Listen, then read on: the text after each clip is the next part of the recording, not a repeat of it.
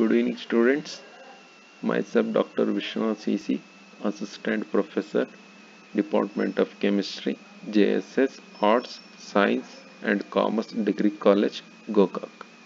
In previous class, we'll discuss introduction of kinetics of chain reactions, definition of chain reactions, general aspects of chain reactions that is initiation step propagation step inhibition step termination step and branching step.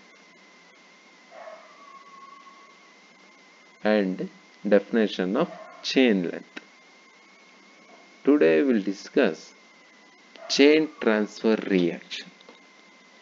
What is chain transfer reaction? Here we can see that the bromine free radical will attacks hydrogen molecule to form HBr plus H free radical. Then H free radical will attacks another reactant molecule that is bromine molecule to form HBr plus bromine free radical. You can see that in first reaction there is a formation of H free radical in second reaction there is a formation of bromine free radical. Here the free radical is trans uh, the H free radical is transferred to bromine free radical. This is called chain transfer reaction. Then what is chain transfer reaction?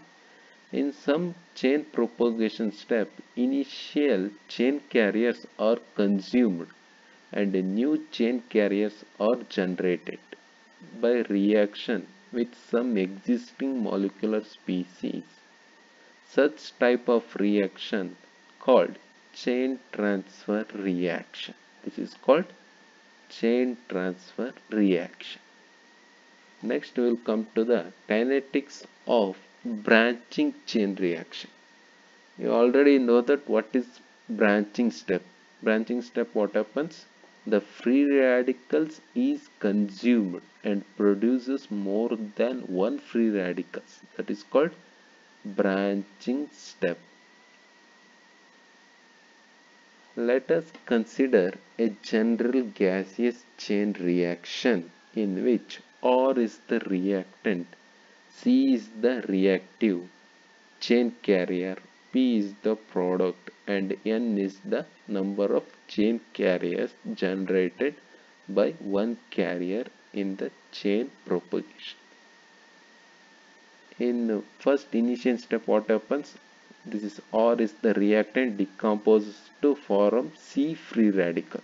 Put K1 as a rate constant. This is initiation step. Next we will come to the propagation step. In propagation step what happens? The C free radical will attack the R that is reactant molecule to form P as a product plus NC free radical put K2 as a rate constant. This is called propagation step. In next step what happens? Termination step that is C free radicals combines and end the chain there is no formation of continuous of chain and for to form a R as the reactant. Put K3 as a rate constant.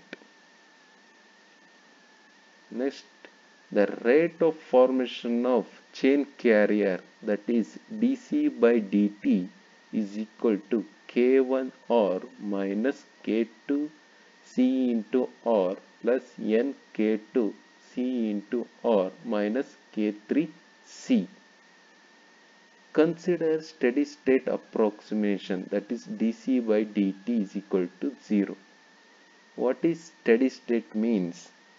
Concentration of a free radical is constant at any instant that is called as a steady state that is dC by dt is equal to 0 in next step what happens? Right is uh, k1 of uh, comes outside that is the air positive and it becomes a negative minus k1 r is equal to c as a common minus k2 r plus n k2 r minus k3 in next step what happens this minus what uh, where it is minus is converted into positive. That is k1r is equal to c.